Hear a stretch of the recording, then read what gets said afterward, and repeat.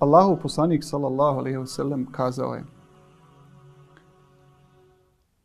Kada Allah Đelešanu u svome robu želi dobro, stavi ga u službu.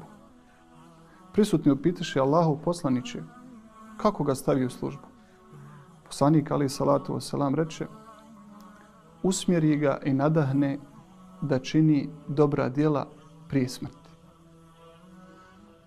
Iz ovog hadisa vidimo da dobro djelo koje činimo, prije svega naše vjerovanje i svaki hajr koji uradimo je prije svega Allahova blagodat.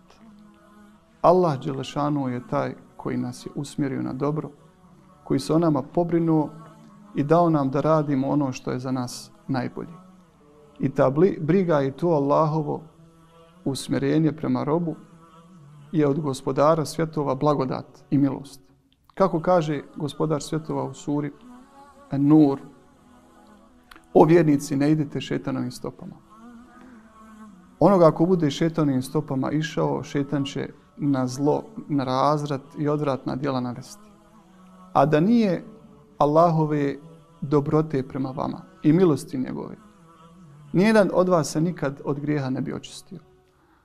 Ali Allah čisti onoga koga on hoće. Allah sve čuje i sve zna. Allah Đelešanu je taj koji nas usmjerava ka dobru, koji nas čuva da ne padnemo u grijeh i u razvrat i da ne idemo šetanskim stopama. I to je njegova dobrota i njegova milost, njegov teufik.